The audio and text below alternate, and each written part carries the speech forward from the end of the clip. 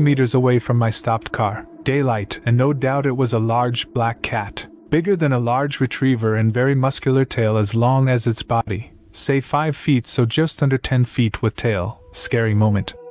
Only reason I do this not to prove, but to share my experience and possibly validate others who have also seen large black cats in the wild. Many people have reported sightings of big black cats in various parts of the world, including the United Kingdom, Australia, and North America.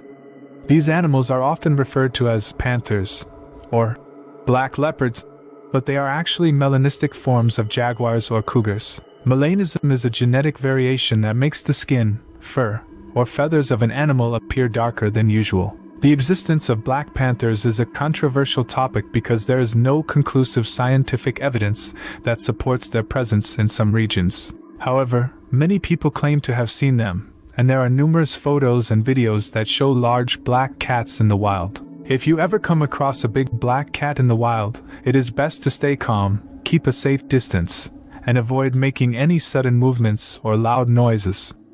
These animals are usually shy and elusive, but they can be dangerous if they feel threatened or cornered. Overall, the sighting of a big black cat can be a thrilling and unforgettable experience, but it is important to respect these animals and their natural habitat. It was a quiet day on the road as I drove down to Sutton Courtenay gravel pits. The sun was shining, and the trees cast shadows down onto the winding path ahead. As I turned the corner, my eyes caught sight of a big black cat perched on a rock, basking in the sun, its silky fur glinting in the light. Startled at first, I slowed my car down to a halt and watched in awe as the cat stood up, stretched lazily, and padded away into the undergrowth. I was left wondering had I just seen a wild panther or was it just a large domestic cat gone feral? As I ventured further into the gravel pits, my thoughts returned to the mysterious creature I had seen, wondering if there was any more to this story. I looked around and saw that the area was deserted, except for a few water birds paddling in the stream. Suddenly, my attention was drawn back to the black cat,